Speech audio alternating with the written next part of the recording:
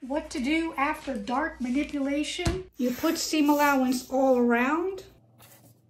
And don't forget your half moon for the dart intake. Then you cut all the way around with that half moon intact. And then move the dart point from the apex down an inch in the center of that dart. Redraw the dart legs. This is center front.